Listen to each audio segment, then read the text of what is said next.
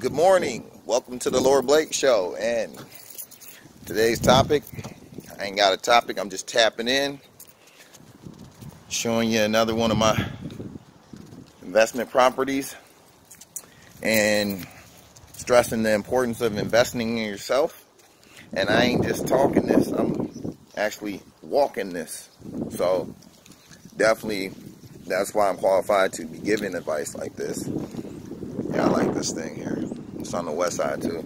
Easy, like, I want to say 50, 60 when it gets to where it needs to be. But, as is, you know, it needs some help. But, I specialize in distressed properties.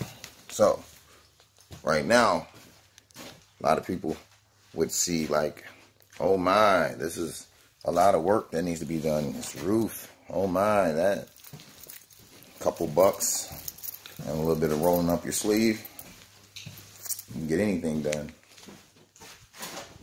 Was one bedroom. I'm gonna make it two. I'm gonna blow out this closet area here.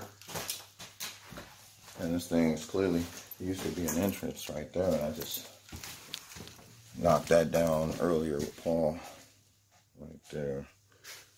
you can see right there. And I'm gonna strip that on down to the, the floor joists and put a floor on there. We do that, do a uh, roof tune up. Nothing to be afraid of.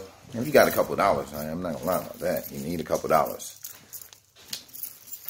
So remember to invest in yourself, believe in yourself. We out.